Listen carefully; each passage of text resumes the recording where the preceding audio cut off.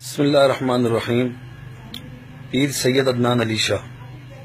آج صبح میں نے ایک ایسی ویڈیو دیکھی جس میں ڈاکٹر محمد عامر لیاقت قادری کو فضل الرحمان ڈیزل، عرف ڈیزل کے گروپ کا بندہ مولانا الحمدللہ قتل کی دھمکیاں دے رہا ہے۔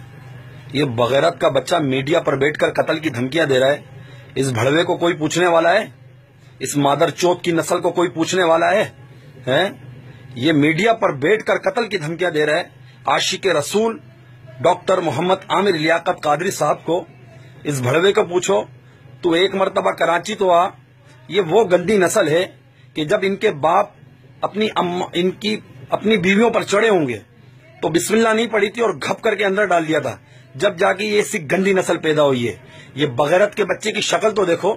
ابے بھائی، ابے میڈیا والو، اس مادر چوت کو بٹھاتے کیوں؟ چینل پہ۔ یہ رنڈی کا بچہ، اس کی شکل دیکھو۔ عورتوں کے خلاف باتیں کر رہا ہے، خود عورتوں کے ساتھ بیٹھا ہے بھڑوا۔ کنجر کی اولاد۔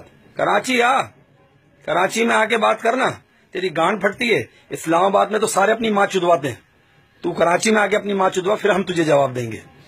عاشق رسول کے بارے میں اور ڈاکٹر محمد عامر لیاقت کے بارے میں اگر کسی نے الٹی بکواس کری، اس کی ماں چودنے کے لیے ہم بیٹھے میں مادر چوت کنجر انسان۔ ہم نے تو تلواریں نکالی ہوئی ہیں۔